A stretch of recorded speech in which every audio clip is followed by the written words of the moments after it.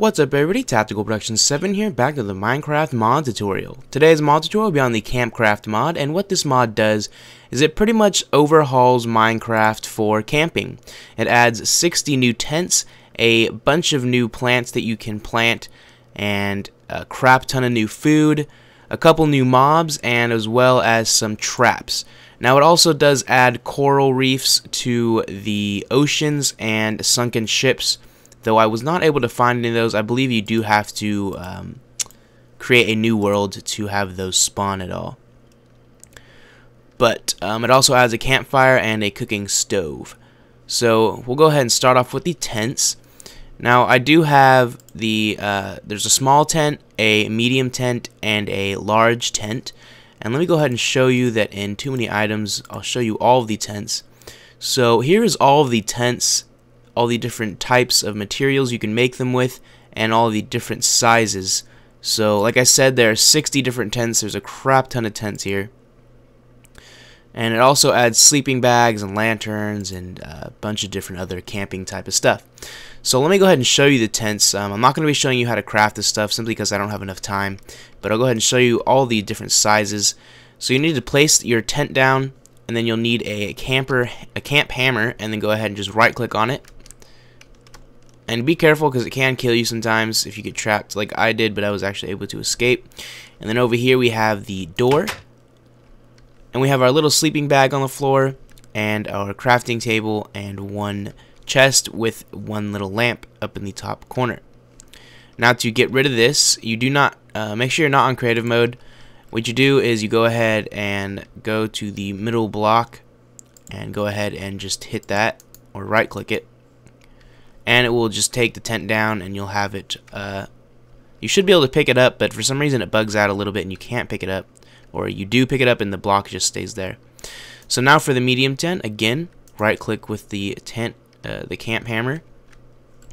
And this one's a little bit bigger just still has one um, sleeping bag two lanterns. Now this one has two doors a uh, furnace a chest, which is empty. All the chests will be empty, and then a crafting table with two lanterns, and a bigger window. Now for the large chest. Now the large chest is awesome. Okay, oh, it almost killed me. Okay, so here's the large chest. It has four doors, a huge window, a large chest, crafting table, two furnaces, uh, four beds in a bunk bed style. And you go ahead and walk up here. Um, one thing you do want to be careful of is you, you do not take down any like the lanterns or anything like that because if you do you will not be able to uh, take down the tent easily unless you replace that. So go ahead and right click this again and there you go the tent has been taken down. Now I'll go ahead and show you the campfire. So here's the campfire. You can right click on it and you can cook things in it. And then we also have the camp stove and again light it with flint steel and you can cook things in this as well. Now for all of the different food. So you can plant coffee lettuce leek carrots cabbage potatoes strawberry tea and tomatoes. And then here's all the different this is all the food that the mod adds um, for drinks and everything. Um, for the drinks right here we have apple cider hot coffee hot chocolate hot milk hot pumpkin pie, hot tea, and hot watermelon. Now for all the drinks, you can also craft them in non-hot form, so just a simple apple, um, an apple drink, coffee, chocolate, and uh, milk, so on and so forth. We also have a strawberry milkshake and a chocolate milkshake.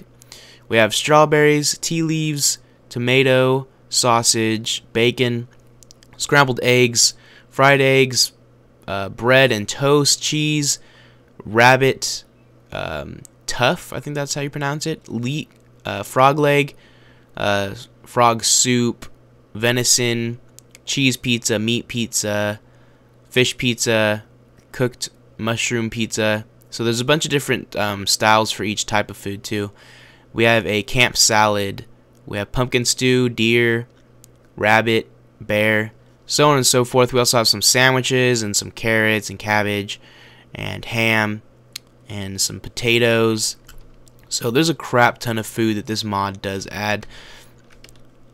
Now I'll go ahead and show you the different mobs that it adds. Make sure I'm on creative still, because I do not want to get killed by these guys. Um, so we have the... Oh, I need to put it on at least easy. So we have a camp bear. So that's what the camp bear looks like. He just chills around. Let me go ahead and give myself a sword so I can kill these guys. Because I don't want them roaming around, following me. So here's your camp bear. And you go ahead and kill him, and he'll give you some tough or whatever that's called. We also have a zombie camp bear. And we also have a polar bear. And a zombie polar bear, of course. Let's go ahead and kill these guys real quick. And the, the next ones I'll just leave alive. We also have a deer. This is how you'll get your venison. Just kill the deer and you'll be able to cook the venison. We also have little rabbits. Little cute rabbits that run around. Some frogs. The frogs um, can get kind of weird as you can see. Let's see if we can get a normal looking one. There's a semi-normal looking frog. And we also have ants and flies. Now the flies, they just take off as soon as you uh, spawn them, so they're pretty much gone. And what's the heck is going on with this frog? Okay, I guess the frog stepped in the fire. He was on fire. Now we have, it's the traps. So let me go ahead and bring these down. Okay. So we have the small spikes, the tall spikes. These are poison spikes, confusion spikes, and weakness. So here are the poison, um, confusion, and weakness. And then we also have a camouflage block so you can just walk and step into it. Um, it does disappear as soon as you step on it. But you can make a large pit and animals will just automatically fall down into it.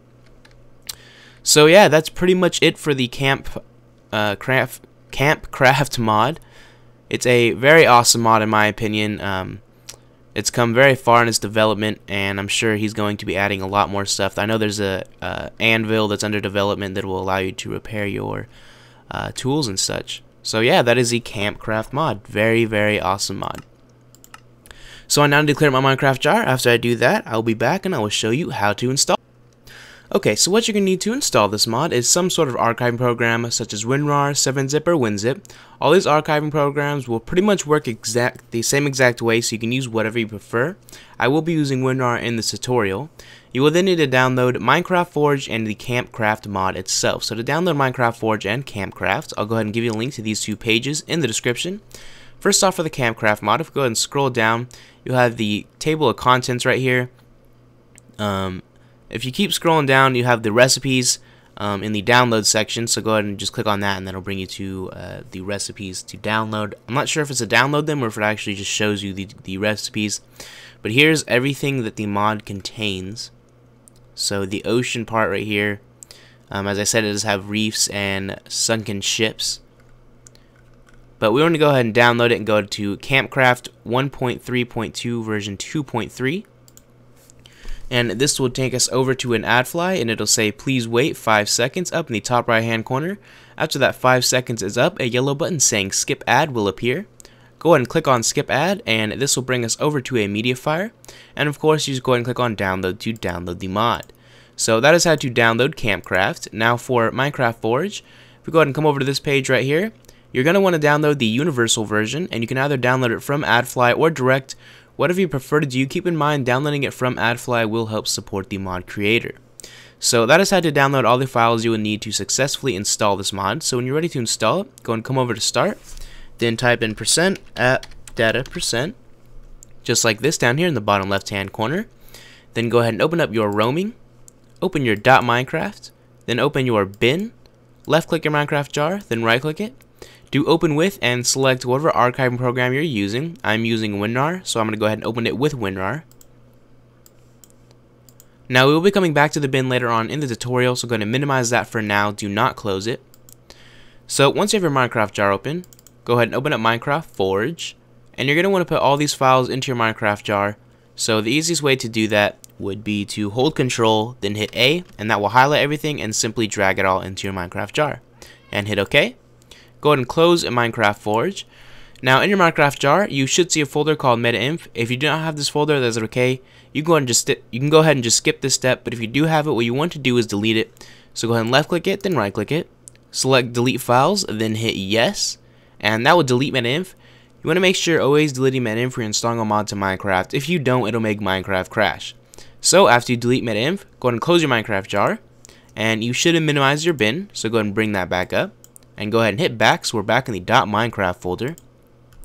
Now you're going to need a mods folder in your .minecraft folder, so if you do not have one already, you can either launch Minecraft and that will create a new mods folder and then come back to your .minecraft folder or you can simply create one yourself and to do that you want to right click inside your .minecraft folder go down to new and select folder this will create a new folder and you want to rename this folder mods of course so just M-O-D-S no capitalization so once you have your mods folder go ahead and open that up and simply take the campcraft um, zip file and drag it into the mods folder. Now you go ahead and close that down and that's it. You're done installing the mod. So it's a fairly simple installation. I hope this video helped you guys out. Thank you for watching and I will see you guys next time.